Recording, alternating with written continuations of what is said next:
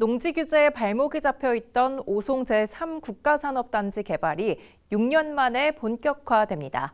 충북도가 산단 규모를 줄이는 대신 농식품부 등과 농업 진흥 지역을 해제하기로 합의한 건데요. 자세한 소식 박종혁 기자입니다. 지난 2018년 205만 평 규모 국가산업단지 후보지로 선정된 오송 3 산업단지. 농지 전용 협의 문제에 발목이 잡혀 6년째 답보 상태에 있던 사업에 청신호가 켜졌습니다. 충북도가 국토부, 농식품부 등과 당초 계획보다 산업단지 규모를 줄이는 조건으로 건립돌이었던 농업진흥 지역을 해제하기로 합의한 겁니다.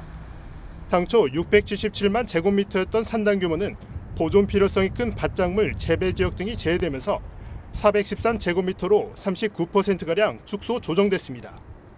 이에 따라 당초 계획보다 공동주택 가구 수와 산업시설 용지 등이 축소 조정될 예정이지만 삼산단 내 22만 평 부지에 들어설 K 바이오스퀘어와 카이스트 메디컬 캠퍼스 규모는 큰 변동은 없을 것으로 보입니다.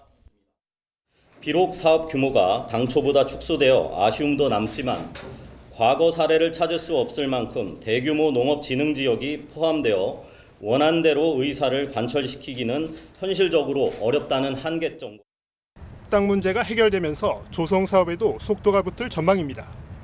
충북도는 올해 안에 K 바이오스케어 예비 타당성 조사 면제를 신청하고 내년 국가산단 계획 승인 이후 보상 절차에 착수해 2030년까지 산업단지 조성을 마무리할 예정입니다. 산단 용지가 줄어든 만큼 충북도는 기존 입주를 희망한 190개 업체들 가운데 바이오 산업을 선도할 기업을 선별해 유치하겠다는 계획입니다.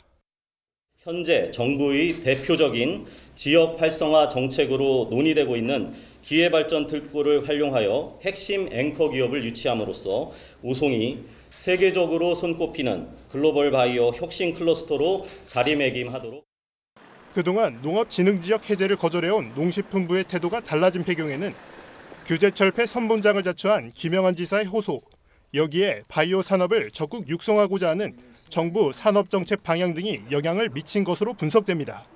이런 가운데 오송산 산업단지 인근 주민들은 이번 협의에 희비가 엇갈리고 있습니다. 시설 투자를 안 했던 분들이 이제 이제는 여기 보상에서 제외되는 분들은 지금 난감하게 된 거고 또한 어, 그동안 또 재산권 행위를 못했던 그런 부분들도 있고 희비는 교차해요. 절대농지 족쇄가 풀리면서 사업 성공의 실질적인 첫 단추를 통과한 오송 3 국가산단 조성 사업. 충북의 성장 축이 될 K 바이오스케어 조성 사업의 기틀이 마련되면서 세계적인 바이오 클러스터 육성에 대한 기대감이 높아지고 있습니다. HCN 뉴스 박종혁입니다.